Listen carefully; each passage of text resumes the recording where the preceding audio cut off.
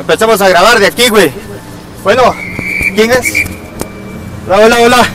Estamos aquí transmitiendo en vivo.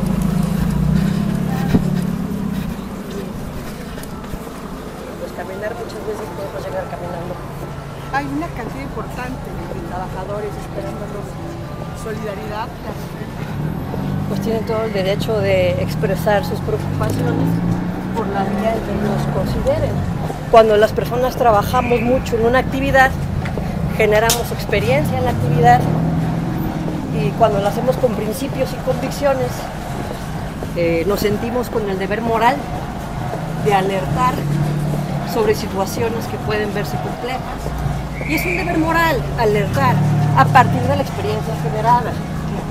Yo fui muy respetuosa de la decisión que ellos han tomado, la forma de alertar. Quizá la sociedad está un poco distraída o, lo- o- o los jueces, los empleados, trabajadores las adolescencias que no están transmitiendo su mensaje. Yo creo que quieren tener, quieren tener la conciencia en paz Sí, sí, de lo que ven.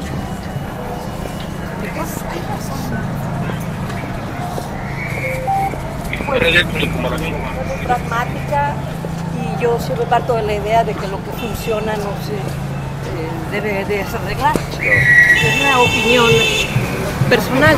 ¿Es mejorable la justicia? Sí. ¿Se necesita? Sí. Pero es importante las maneras de poderla de poderla llevar a cabo. Pues yo públicamente he estado- pública- públicamente he estado en contra de, de- de eso. Eh, yo, es- yo espero que siempre que este país le vaya bien, con las decisiones que democráticamente tomen. Cuidado, cuidado. Cuidado con el monte, cuidado con el monte.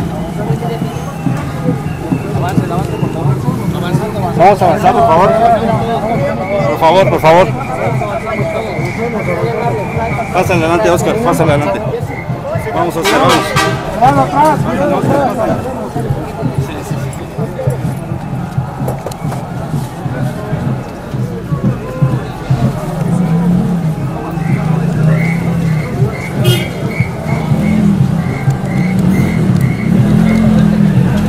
Bueno,